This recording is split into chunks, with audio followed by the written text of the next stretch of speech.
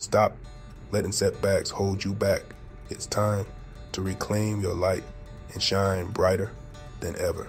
We all face hurdles, whether it's a bump in our mental wellness or a physical challenge. But here's the kicker they don't define us. Think of them as plot twists in your blockbuster life story.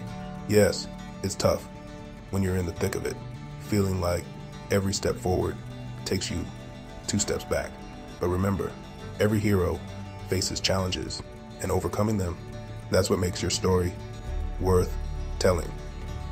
Start each day with a simple mantra I am more than my struggles.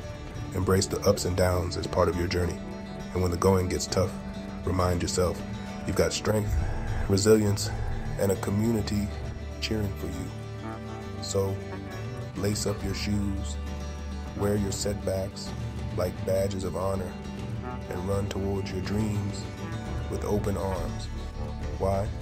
Because you are unstoppable